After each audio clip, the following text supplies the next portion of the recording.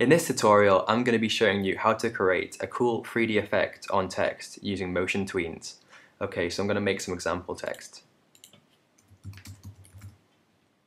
So I'm using a custom font called Adore64 and this is available to download from a number of different free font websites so it's worth checking out. And the reason why I'm using this font is, as you can see, it's quite pixelated and retro, and this works really well with the effect I'm about to show you. Okay, so I'm going to go to Window and Align and just click these two buttons to make sure it's in the middle of the stage. Alright, so next I'm going to convert it into a movie clip symbol and then I'm going to make a motion tween and I'm going to make about 20 frames. And by the way, I'm using 25 frames per second for this.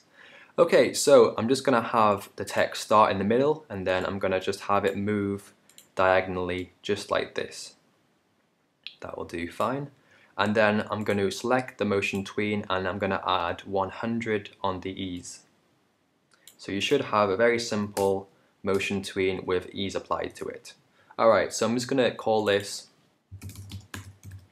main text and then I'm going to select the motion tween and copy it. And I'm going to make a new layer. I'll just make it underneath. I'm going to call it underneath text and I'm just going to paste my motion tween onto it.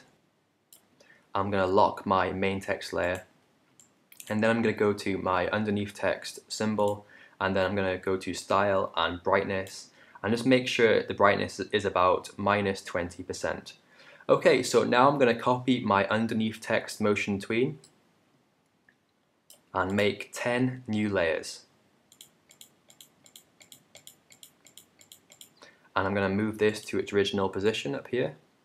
And now I'm just going to go through and paste in my motion tween into each of the new, new layers.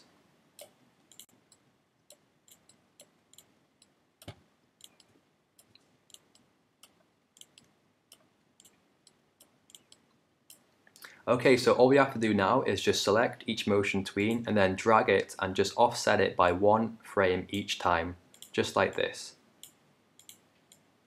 And this is the main reason why I chose motion tweens as opposed to classic tweens because on motion tweens you can just select the motion tween just like this and just drag it. So it makes things so much easier.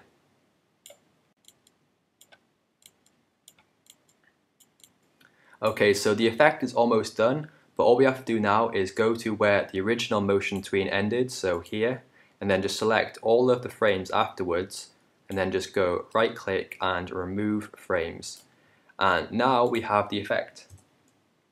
Alright, cool. So it creates this really nice layered 3D effect like this. And you remember before how I was saying how it works better with a pixelated font?